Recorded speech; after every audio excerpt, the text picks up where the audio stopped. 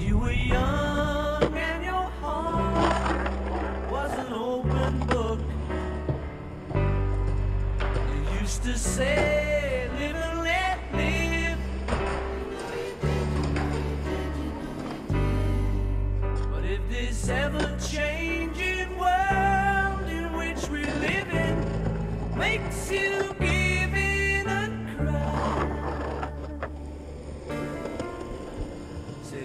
Let die.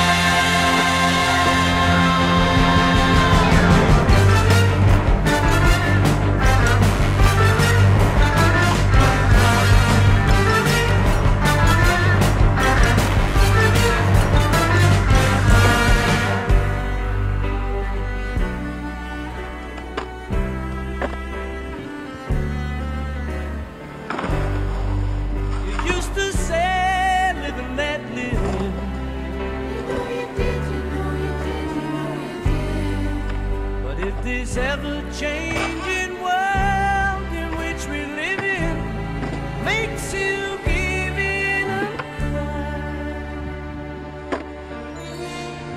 so live and let die.